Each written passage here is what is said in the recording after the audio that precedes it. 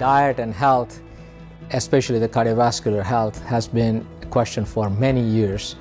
And the first scientific study to say that whether the diet helps cardiovascular diseases and prevention of heart attack was done in Cleveland Clinic. It's more relevant today than ever before because people are eating more junk food and this has led to increased obesity, heart disease, hypertension.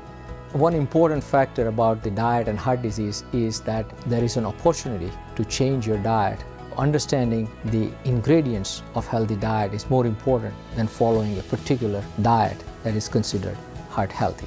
So in the past, we used to say that if you have heart attack, it is only related to your family history of coronary disease. But if you are smoking or if you are obese, that is modifiable heart factors.